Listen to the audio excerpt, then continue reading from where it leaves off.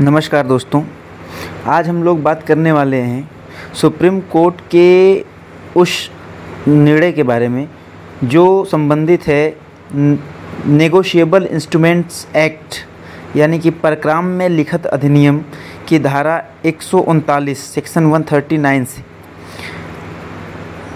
जैसा कि ऊपर आप देख पा रहे होंगे कि भले ही चेक की डिटेल किसी अन्य व्यक्ति ने भरी हो, ड्रार की उत्तरदायी होगा हैंड राइटिंग एक्सपर्ट की रिपोर्ट, धारा एक एन एक्ट के तहत अनुमान को खंडन नहीं कर सकती। सुप्रीम कोर्ट का ऐसा मानना है। नमस्कार, स्वागत है आपका अपने YouTube channel legal adviser AM में, जहाँ हम सभी लोग सभी रिसेंट लीगल अपडेट्स और लॉज के संदर्भ में चर्चा करते हैं। उसी क्रम में सुप्रीम कोर्ट के इस महत्वपूर्ण जजमेंट के साथ आज हम लोग जुड़े हुए हैं। आपसे रिक्वेस्ट है कि चैनल पर नए हैं तो चैनल को सब्सक्राइब अवश्य करिए, लाइक करिए और अधिक से अधिक लोगों तक जानकारी पहुँचे, इसलिए शेयर भी अवश्य करिए। आइए देखते हैं कि मामला क्या था और क्या फाइनल डायरेक्शन है।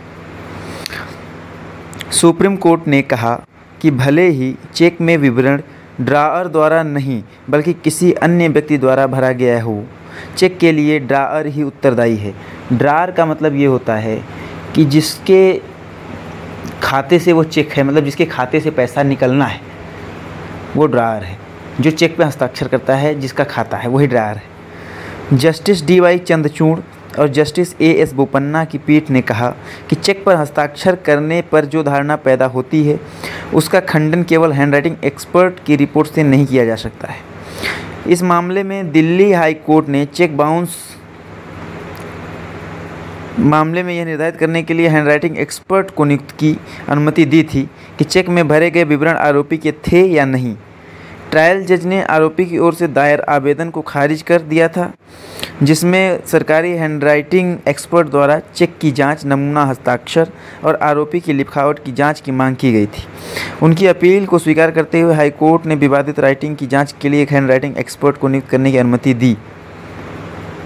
अपील में धारा एक सौ उनतालीस एनआई एक्ट का ज़िक्र करते हुए सुप्रीम कोर्ट की पीठ ने कहा कि एक ड्रार जो एक चेक पर हस्ताक्षर करता है और उसे पेय को सौंपता है, पेय यानी कि जो प्राप्त करने वाला है, उसे तब तक उत्तरदायी माना जाता है जब तक कि किसी ऋण के भुगतान के लिए, किसी दायित्व के निर्वहन में चेक जारी करने के अनुमान को खारिज करने के लिए ड्रायर सबूत पेश नहीं करता है।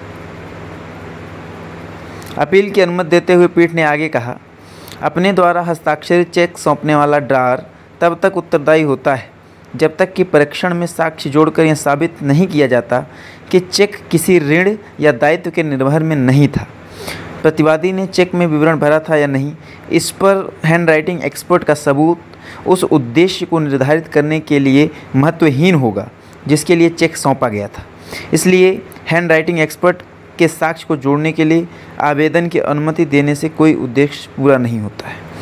केस का नाम था ओरिएंटल बैंक ऑफ़ कॉमर्स, बनाम Prabodh Kumar Tewar C R A one two six zero of two zero two two.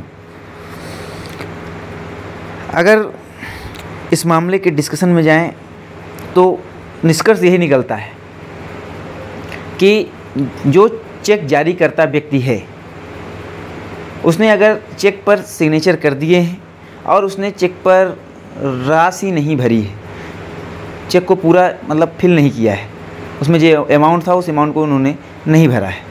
तो इसका मतलब ये हो गया कि वो उसके लिए ज़िम्मेदार है। अब अगर वो वो चेक किसी दूसरे को दे देते हैं और वो अपने हिसाब से उसमें रकम भरता है और चेक बाउंस हो जाता है तो उसके लिए ड्रावर ही जिम्मेदार है।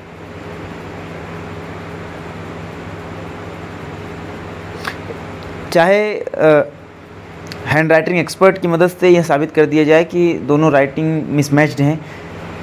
अमाउंट की जो राशि है, वो किसी और ने भरी है और सिग्नेचर किसी और के हैं।